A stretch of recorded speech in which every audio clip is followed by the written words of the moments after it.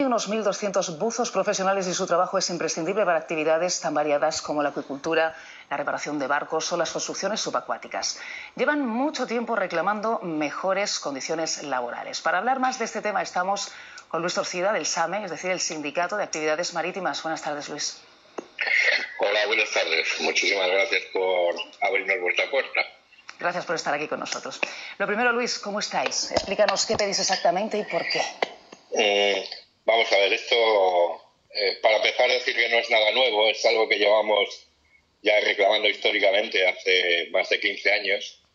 Eh, y lo que reclamamos es un derecho a la jubilación anticipada debido a la peligrosidad del trabajo, los riesgos a los que nos enfrentamos y, digamos el desgaste físico que provoca una que produce una profesión como esta.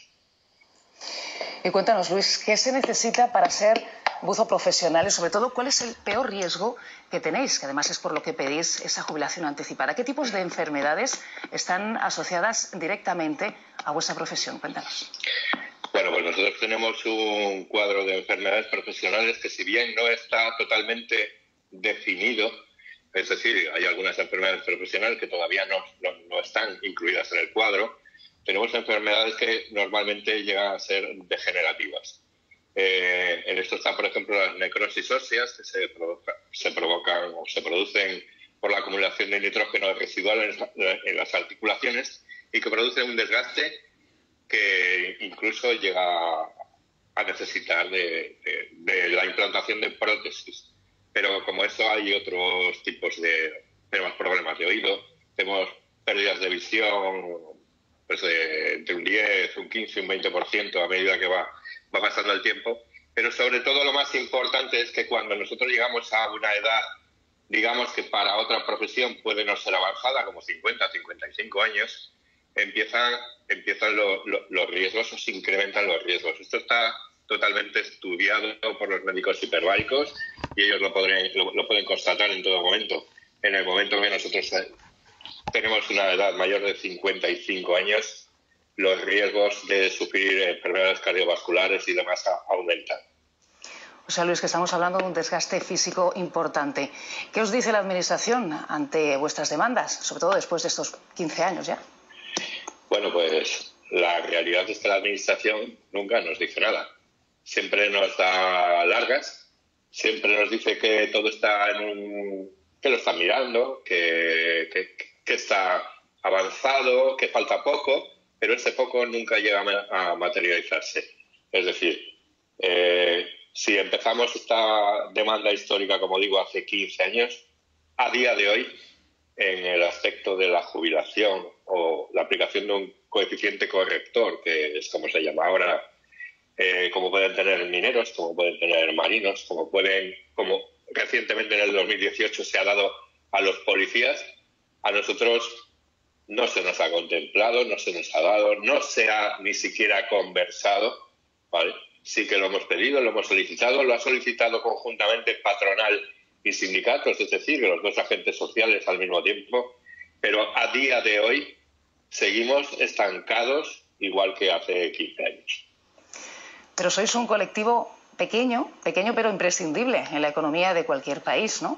¿Cuánto tiempo lleva formar un profesional de vuestro sector? ¿Hay cantera a día de hoy, Luis? Eh, quizás tendría que decir que hay demasiada cantera. Quiero decir que hay más, se están formando más buceadores de lo que luego el mercado puede absorber.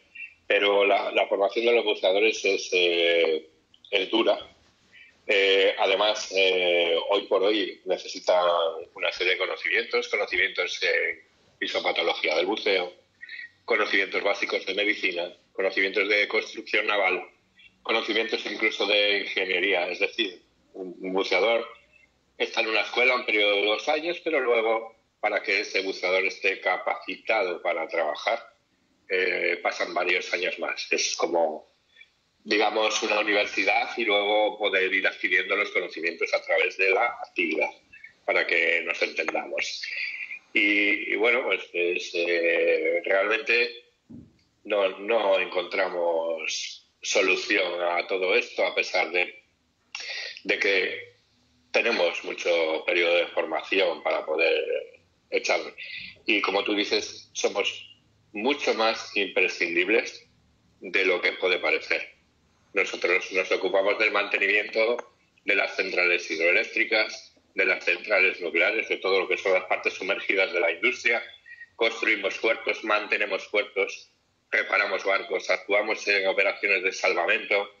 Eh, un buceador al final puede hacer o desarrollar todas las actividades que puede desarrollar cualquier trabajador en tierra firme, pero con el añadido o agregado de que estás trabajando en un medio hostil, sumergido, y que además necesitas equipos para poder trabajar y darte ese soporte vital básico.